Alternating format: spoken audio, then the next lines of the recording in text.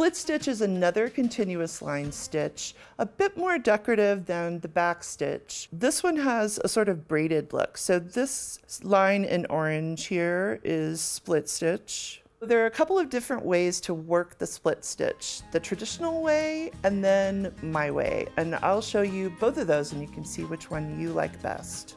The traditional way to do the split stitch is to bring your thread up at A, back down at B, forming a straight stitch. Bring your needle up from behind through the middle of the stitch at C, splitting the straight stitch you just made.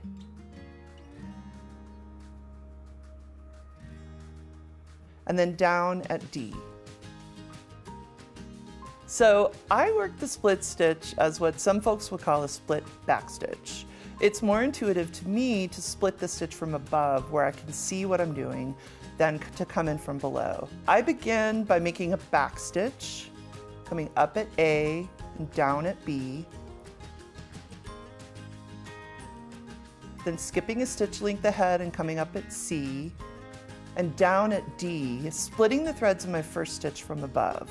Bring your needle up again one stitch length beyond C and repeat to the end of the stitch line.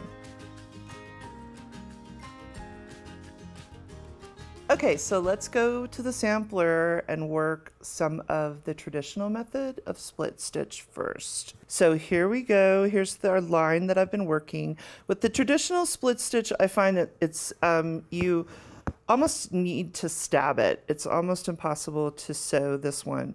So here I am coming up from behind going ahead and coming up. So I just find that it's a little clunky to be kind of grasping for that spot from the back.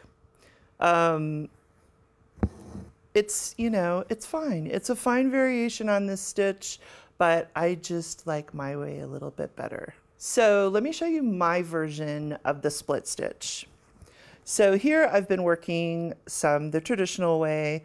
So to start my version, I'll go down here and then back up a little bit ahead, just like as if I were making a back stitch.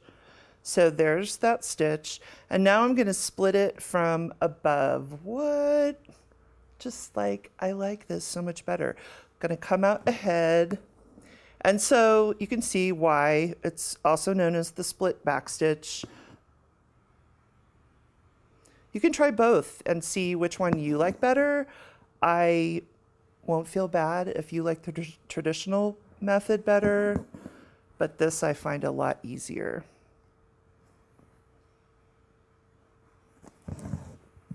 It's a lot easier to see and to also kind of smooth my stitches as I go.